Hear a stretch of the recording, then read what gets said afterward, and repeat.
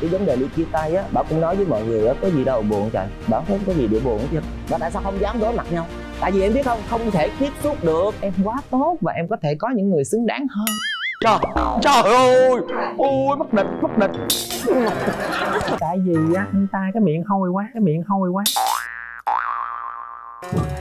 Trời ơi làm tới đâu là mình gùng gợn tới đó làm tới đâu nữa trời ơi cái lý do đó là cái lý do mà tào lao xạo sự. Ờ, chơi cái bài này rất là hiệu nghiệm. Ờ, nhìn vô mặt nhau rồi ôm nhau. Như vậy là đủ rồi. Xong rồi ôm nó một cái rồi nó đi luôn. Sợ nó sợ đó mọi người. Có nhiều người ta nói là không còn cảm xúc nữa yêu giống như yêu chơi cho vui vậy đó. Để thôi thôi vậy thôi đừng đừng. Tại vì tình yêu nó rất là thiêng liêng đối với một vài người đối với em đi chẳng hạn. Tình yêu nó là một thứ rất là thiêng liêng. Tại vì không thể nào dễ dàng có nó được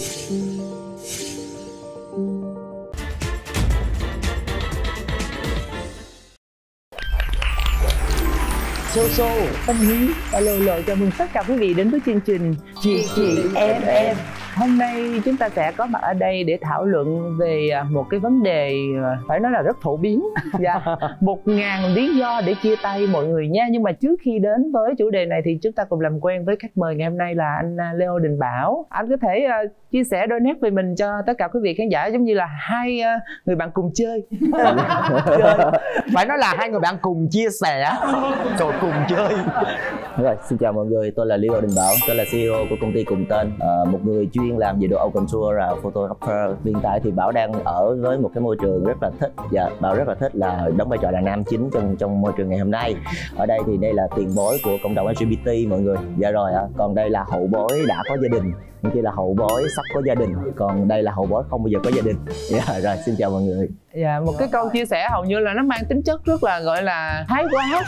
Nhưng mà nó cái cái cái hậu nó không được vui. Giờ tại sao nói là mà không có gia đình được gì? Mà chủ đề ngày hôm nay của mình là, là một ngàn lẻ một cách chia tay, chia tay. nữa. Mà anh nói anh không có gia đình rồi sao mà biết không cái cảm nói câu đó để dẫn vô cái chương trình nó hợp lý hơn. Bởi vì chia tay hoài cho nên mới không có gia đình. Nhưng mà bây giờ mình sẽ chia tay vấn đề đó. Và chúng ta bắt đầu vấn đề hôm nay là à, Dung có bao giờ là bị uh, chia tay mà không lý do em để ý nha chủ đề nào chị vô chị cũng hỏi em trước cho. Thôi đâu hỏi của mình. Ờ à, ừ, vậy đi. Chị nào giờ chị có bị uh, người yêu chia tay mà họ phải chuyện những cái lý do mà chị không ngờ tới không? Chưa có ai mà chia tay trước chị chia tay trước không?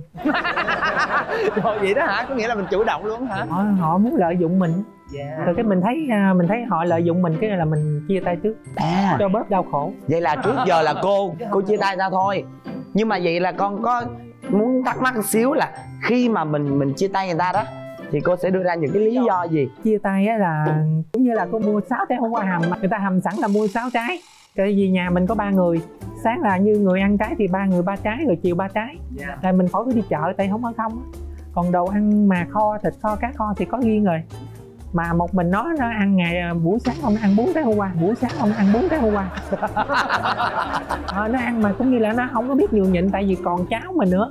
Ví dụ bây giờ ừ anh thích cái món đó em mua thêm đi nó không nói mà nó ăn hết bốn trái còn có hai trái rồi cái mình thấy thằng này nó vô duyên quá.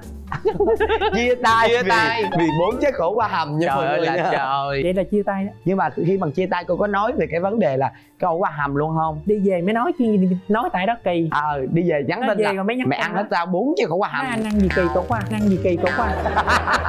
Đó là lý do đó. Rồi phản phản ứng của anh đó là sao? Nói vậy là anh biết là anh mắc cỡ rồi. À. rồi anh sẽ rút lui luôn. À. Cũng như mình mua cây bánh bía về nó có bốn cái anh ăn ba cái, anh ăn ba cái. Rồi đất ơi, ăn uống gì kỳ cục vậy?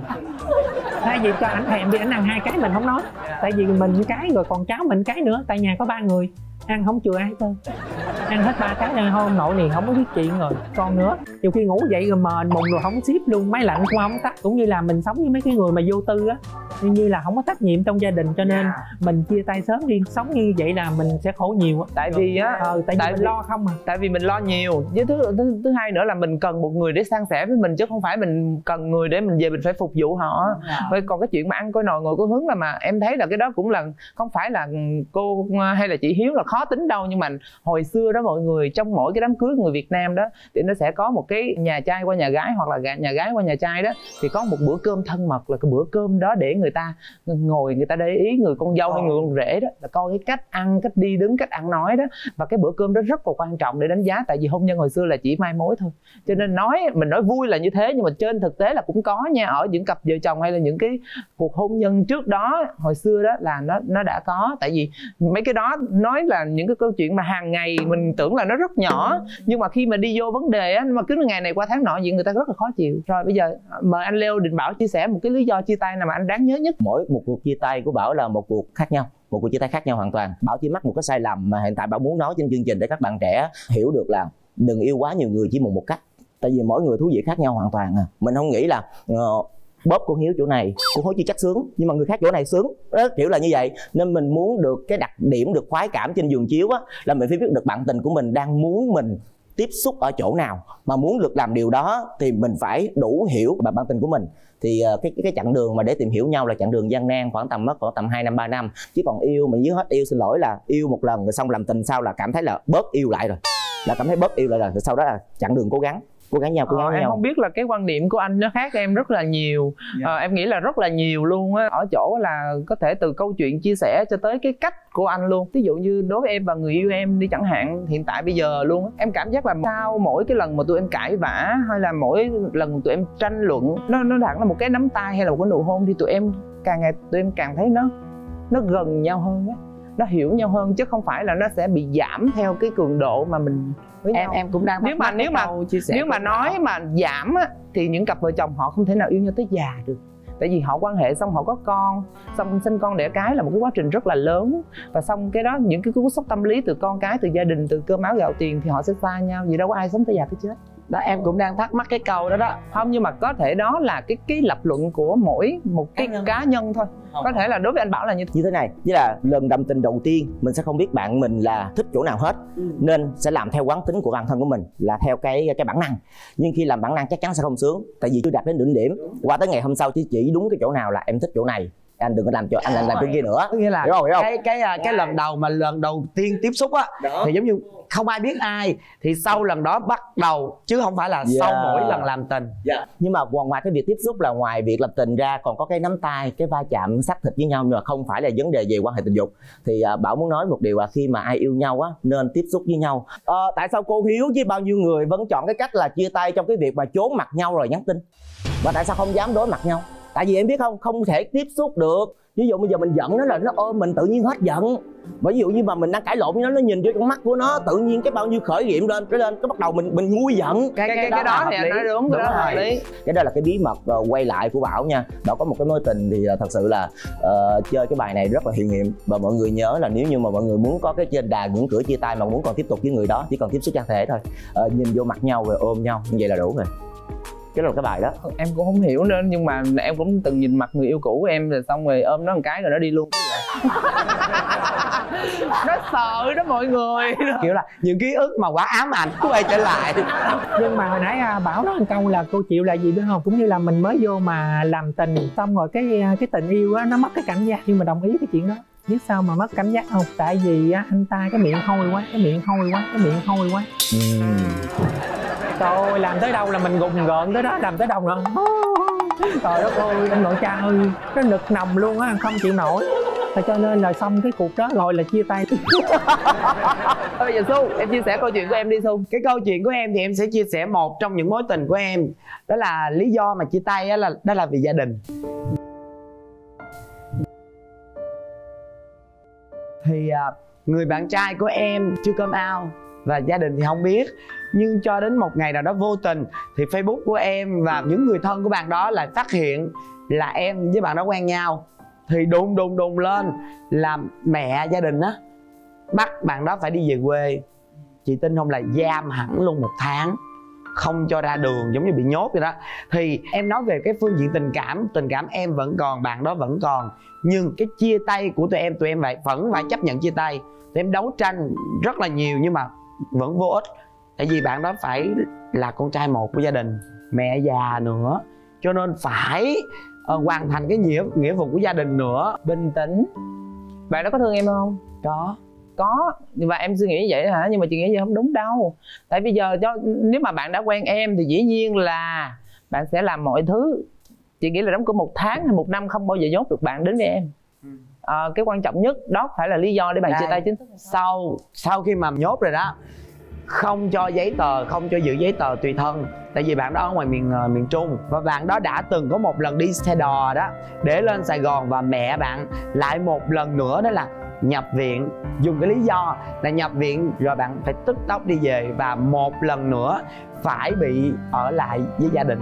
Đó là lần thứ hai rồi sau đó tụi em vẫn giữ liên lạc gần như là 6 tháng ngày nào cũng gọi. Nhưng khi mà mà mà cái tình cảm mà bị như vậy á nó lợp. Ờ nó lợt và cái cái cuối cùng tụi em phải cho nhau một cái hướng đó là thôi mình chia tay. Tại vì bây giờ cố gắng cũng thật sự bản thân em lúc đó nha em có cái cảm giác là thôi không cố gắng nữa đâu.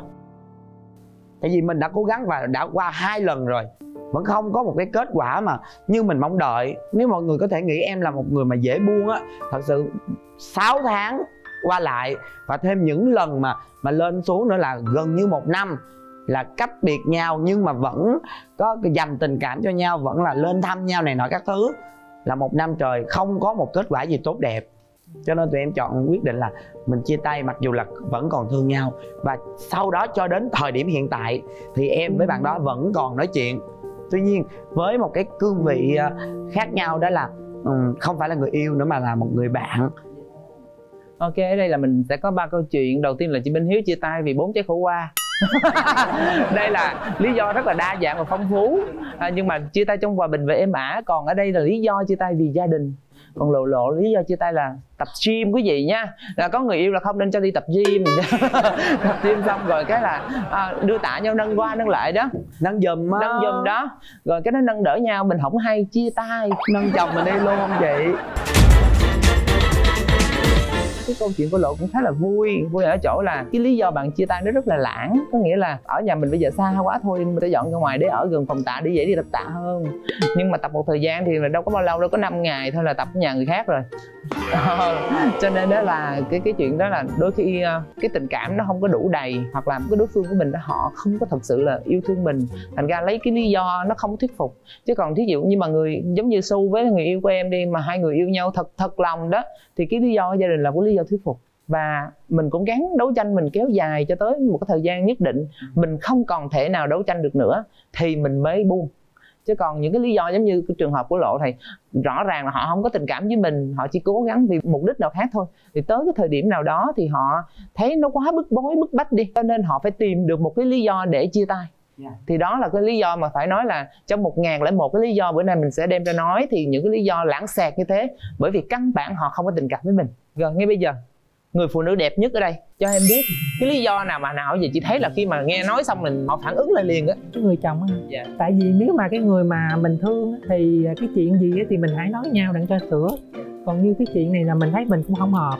Ví dụ chẳng hạn như là đi toilet hay là vô nhà tắm mà không bấm nước là cái đó vô duyên mà mất lịch sự nhiều khi mình lo công việc ở ngoài lo tiền bạc rồi ăn uống rồi chạy vòng ở ngoài. mà bây giờ mình không có thời gian mà bây giờ á, chồng ở nhà mà lo cái vụ đó mà lỡ bạn bè khách khứa tới mà vô trong cái toilet mà thấy như vậy là chết mình liền chết luôn dở lắm. Đúng rồi. Vậy là mình không nên sống nữa mà không cần nói nhiều. Nhưng mà mình rất là thương chồng mình không phải là mình có chồng mà mình để mình ỷ mình có tiền mà mình đài đọ chồng mình đâu. Ví dụ bây giờ chồng mình ngủ vậy sao thì nó phải tắt máy lạnh tại vì mình đã đi ra rồi. Mà mình đi đi tới chừng mình đi tới trưa tới xế về máy lạnh còn y nguyên luôn. Rồi đi ra ngoài bỏ biết bao nhiêu tiền điện.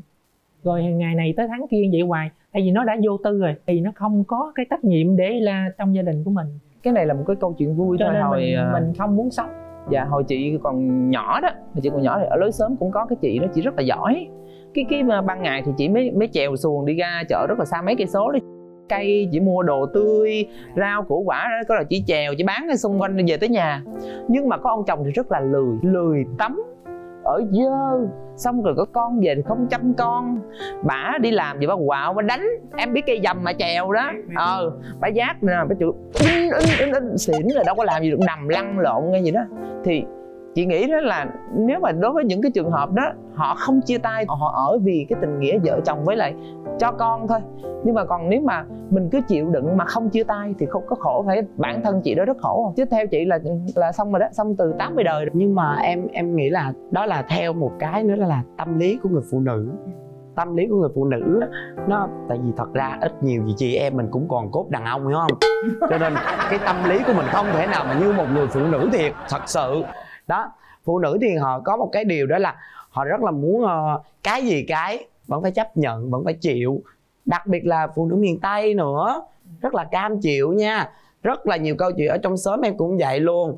Trời ơi chồng quánh sao quánh nhậu về quánh trời ơi quánh thấy thương quánh má nhìn cũng ra vẫn chịu nhưng mà ý là chị nói là đó là có lý do hợp lý để chia tay luôn nhưng mà vẫn chịu đựng yeah. Dạ. rồi còn có những cặp thì họ sống với nhau rất là hạnh phúc vui vẻ tự nhiên vì một lý do rất là lãng xẹt là chia tay lẫn nhau còn đối với những người mà trong cộng đồng yêu của mình đi à, thí dụ yêu đương thì có một cái trường hợp xảy ra như thế này nè em quá tốt và em có thể có những người xứng đáng hơn trời trời ơi. Ôi mất địch mất địch trời ơi, cái lý do đó là cái lý do mà tào lao, xạo sự, không thiệt luôn á. Chia tay em ghét với cái câu mà, em à em tốt lắm anh không xứng đáng cho em nó xạo đó má ơi. Nó xạo đó nó có người ngoài rồi. Đó là thì mọi người hay, hay hay nói là lý cái lý do đó giờ em nghĩ là căn bản của lý do đó là có bồ mất rồi. À. thì cho nên là lý do đó là cái lý do hợp lý nhất để, để vừa tôn mày lên bàn thờ ngồi rất là sang trọng. Giống như là mình mình mình trở thành rất là nhân văn. Rất là hảo đừng tên đừng tên đừng ai tên đơn xạo. Rồi anh bảo có bao giờ bị vậy chưa hay là anh như vậy đối với người khác chưa? Tại vì anh là một người rất là toàn tài luôn đó theo à. em thấy. cái vấn đề ly chia tay á bảo cũng nói với mọi người á có gì đâu buồn trời. Bảo thấy không có gì để buồn chứ tại vì chia tay là gì ạ chia tay đó là một bên đã quá mệt mỏi rồi thì mình phải kiếm một người nào bớt mệt hơn chứ. À, em em nghĩ như thế này là anh ờ. không phải đâu. Cái đó là mỗi người có một cái tiêu chí sống nó khác nhau mà nói là trong tình cảm đó. Theo em đó nha khi mà người ta yêu em đó nó thí dụ như em muốn cái gì họ cũng có thể đáp ứng cho em được cái đó là họ rất yêu em. Kể cả bình thường thôi họ ngồi cái bên họ cũng cái này cái nọ cái kia với mình nữa có nghĩa là nó hơn cái mức giống như là hòa làm một vậy đó. Nó mới là chia tay. Còn anh nói là chia tay mà không buồn là cái những người không yêu thật á họ mới không buồn. Chứ còn đối với em nha mỗi một lần giống như em mới trải qua có hai cuộc tình thôi. Cái cuộc tình đầu thì mình bỏ qua thì cuộc tình thứ hai nó làm cho em mất khoảng 3 tháng để trời ơi chị ba tháng còn đỡ nè. Em nói nghe nè. Hồi đó mới lên sài gòn quen thằng kia bên quận 5 á trời ơi quen có 3 tuần thôi chia tay em khóc gần 6 tuần. Ồ, tin ngon mẹ ơi thiệt khóc mà. Thằng nó ngay cầu trà già. Mới có 3 tuần mà khóc tới quen 6 nhau bữa chỉ có 3 tuần. thôi tìm hiểu một tuần này gặp nhau chơi chơi này nọ các thứ là 3 tuần mà chia tay xong gần 6 tuần lễ. Đó có nghĩa là khi mà mình yêu thật thì rất là nhiều cảm xúc. Chứ không thể là mình không buồn được. Cho nên nếu mà mình nói là mình không buồn thì mình phải coi lại. Thứ nhất là cảm xúc trong tình cảm của mình nó còn nhiều hay không? Thứ hai là mình yêu người ta thật không? Và cái điều đó nó nó quan trọng lắm. Có nhiều người ta nói là không còn cảm xúc nữa yêu giống như yêu chơi cho vui vậy đó. Thì thôi, thôi vậy thôi đừng đừng. Tại vì tình yêu nó rất là thiêng liêng đối với một vài người đối với em chẳng hạn. Tình yêu nó là một thứ rất là thiêng liêng. Tại vì ừ. không thể nào dễ dàng có nó được. Và khi mà mất nó là rất là buồn. Chắc là mình tâm lý phụ nữ còn anh bảo là tâm lý của người đàn ông á. Đàn ông đúng nó không? khác về mặt sinh lý đó. Ờ, tại vì thật sự em là tụi em là những cô gái dễ bị tổn thương mong manh và dễ vỡ. Đau đớn thiệt bảo bảo bảo xin nhắc lời người ta tức nghĩa là chia tay chắc chắn sẽ buồn. Nhưng mà cái mà bảo muốn nói buồn tức nghĩa là những người yêu thật lòng người ta sẽ không còn buồn nữa. Bảo đang nói là những người yêu thật lòng còn những bạn đang chơi cuộc canh bạc của trò chơi tình ái thì các bạn chia tay, các bạn khóc, các bạn gào thét, tất cả mọi thứ. Xin lỗi với các bạn. Chia tay lúc nào cũng phải buồn hết. Nhưng nếu như hai người xác định là có một mối tình quá đẹp với nhau rồi, họ chia tay trong êm đẹp. Còn những cái mối tình mà nó không có chia tay êm đẹp là những mối tình mà vui lúc đầu, khúc giữa hết vui và khúc sau mới kiếm được giải thoát. Nên ở bên cạnh anh lộ nói là không có sai. Tức là ở bên cạnh ai cũng nghe từ lúc đầu, đúng không? Lúc đầu anh vậy sao giờ anh vậy lúc đầu anh cái gì cũng chưng em hết, nhưng bây giờ sao anh vậy cái từ lúc đầu và từ bây giờ nó khác nhau tại vì sao ạ? Con trai nó ga lăng mọi người. Thật ra nó ghét cái đó gần chết nó ghét cái đầu độ gần chết vậy đó. Nhưng mà ở bên cạnh đó nó là trời ơi cái đầu đẹp quá. Em có cái đầu rất là nấm rơm rất là dễ thương rất là kiểu kiểu như vậy. Nhưng mà thật sự sau đi dần già rồi mình nghĩ là à chắc là khi làm tình thủ thủy mình sẽ nói là nó sẽ thay đổi cái đầu cái này là sai. Ừ cái đó. Sai. nhưng mà nó không không thay đổi. Sai lắm kiểu như vậy. Ừ. người yêu em em đội một cái tóc khác cũng không bao giờ chịu. Thậm chí em mua một cái tóc khác nó giống rồi ông cũng không chịu chứ đừng nói. Câu tiêu chí của anh nói với em là em phải là bà lộ nha Yeah. là người khác nha. Đó, xin, xin lỗi lỗi là bảo, bảo chỉ ví dụ thôi chỉ dụ cho vui thôi. À, à, tiêu chí đầu tiên của em mỗi lần đi vô bảo hay có cái bảng á, cho người yêu của bảo ghi. À, ví dụ như là em muốn người yêu của em như thế nào? Anh Đó, giống thứ như nhất là cơ quan phải nhà là nước vậy đó, phải là đẹp trai nè phải là nhà giàu nè phải là tổng tài nè phải là xế hợp nè phải là xe hơi nè phải là làm tình giỏi phải là ga lăng nè hay là kiếm tiền cực kỳ ok luôn không ạ? Thế thì tất cả những cái tiêu chí này như một thằng này nó có xuất hiện cái cuộc đời này thì xin lỗi em là nó có lấy em không? Nó có chơi với em không? Nếu bởi vậy mình phải bớt những cái tiêu chí đó đi để mình bớt cái lý do chia tay lại. À, bảo bảo quen với một người nào đó là quen một người không hoàn hảo bảo thích với một người nào đó nó bụng dại chút xíu. Không biết mọi người có hay không chứ mà bảo bảo thấy á, mỗi lần mà chia tay đau đớn gào thét á là rồi sau đó rồi á nhìn mặt nhau không muốn gào nữa. Sau đó rồi nhìn mặt nhau là chắc chắn sẽ kiếm cái lời gì đó. Các bạn kia ít lời hơn hơn bảo nên thường sẽ nói là em rất tốt mà anh rất tiếc. Kiểu kiểu, kiểu, kiểu vậy. Ừ hiểu không ạ? Còn bảo thì bảo nhiều lời hơn. Kết xô lại là cái cái cái lý do chia tay là anh rất tốt em rất tiếc là dành cho anh bảo. Đúng không mọi người? Cái gì giỏi ông cũng không chịu tất cả những cái chuyện chăn gối giỏi cũng chịu yêu ông giỏi cũng không chịu cái này cũng không chịu ủa gì cái gì vừa lòng anh? Ờ, nhưng, nhưng mà độ có gặp cái cái cái chương trình mà ờ, chia tay nhiều tập không? Sáng chia tay xong ngày hôm sau chia tay tiếp. Rồi ngày hôm sau lại chia tay tiếp á. Em thì không có gì em có chứng kiến qua là cái cặp gọi là gì là ly dị. Dạ. Tụi ông ly dị đi. Rồi bữa sau cũng ly dị nữa tập viết đơn rồi nữa. Đủ thứ nhưng mà không bao giờ ly dị. Hù hù vậy nói hả à, đôi khi họ cảm giác như là đem ra cái đó để làm một cái bài răng dạy cho đối phương gì đó. Nhưng mà theo em thấy cái đó thì ờ, em cũng có từng bị hù vậy nhưng cuối cùng chia tay thiệt. Xui. Xui luôn. Tại vì á, khi mà mình nghĩ tới điều đó thì mình sẽ cái cái điều đó nó sẽ tới với mình đó. Rồi bây giờ chúng ta sẽ trở lại cái chủ đề của ngày hôm nay. Thì vậy thì sau khi chia tay cái người yêu của mình có thể làm bạn với mình được không?